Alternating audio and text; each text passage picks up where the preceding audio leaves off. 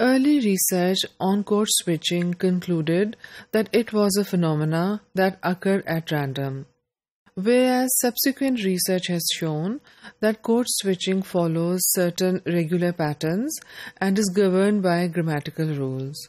A lot of recent research is devoted to determining the exact nature of these rules. The two most frequently researched rules in code switching are what we call a free morpheme constraint and equivalence constraint.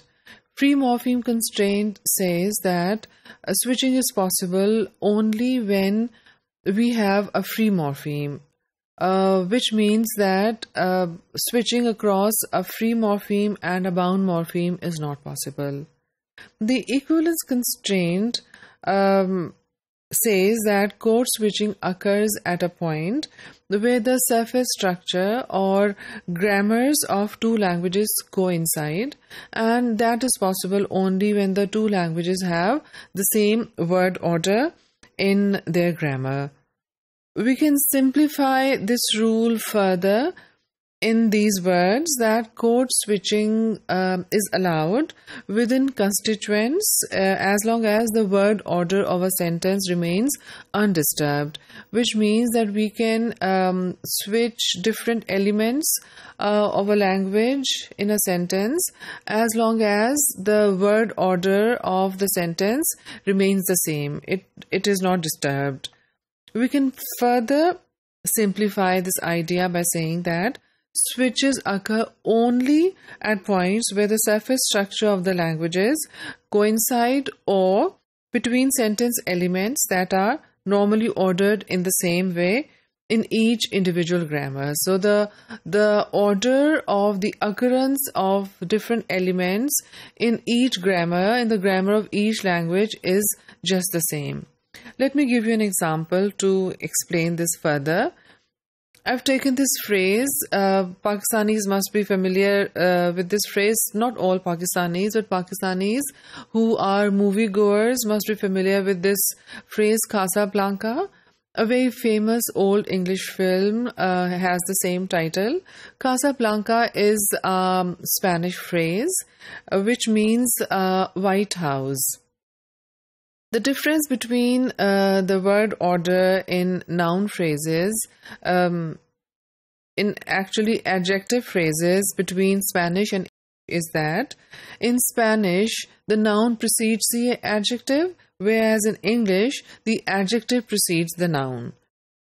So, um, phrase like Blanca House, which means White House, which is the same word order as English is not acceptable in, in Spanish because it is um, very different. It is in opposition to the rule that we have in Spanish.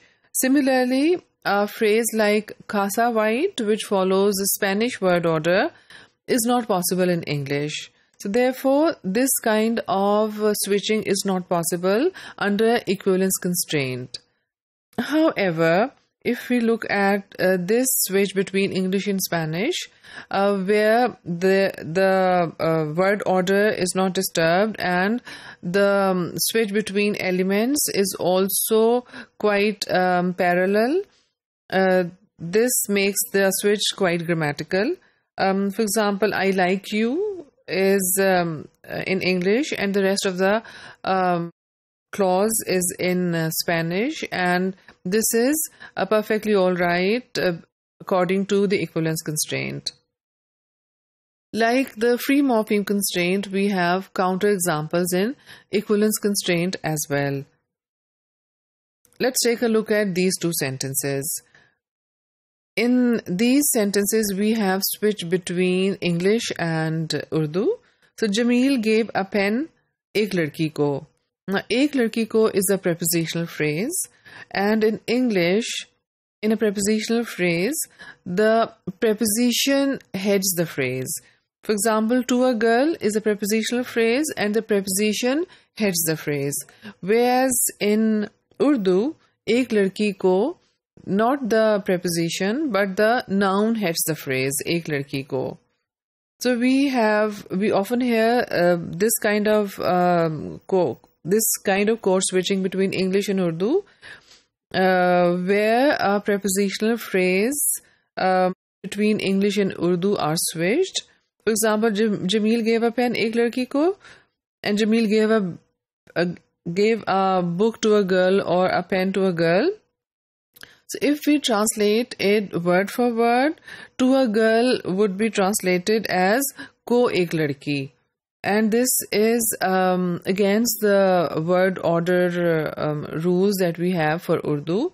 However, we often come across uh, switches of this kind between English and Urdu.